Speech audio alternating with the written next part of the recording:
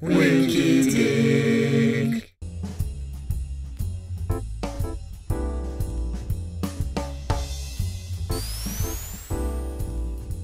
Well, that was fast. Um, yeah, that's kind of my thing. No, but I mean, that was like really fast. Uh, I don't know what you want me to. We could do it again. No, no, that's okay. You know, I'm never gonna ask you to marry me, right? I lied. I'm not on birth control. What's up, raw dog? Is it hot in here or am I just ovulating?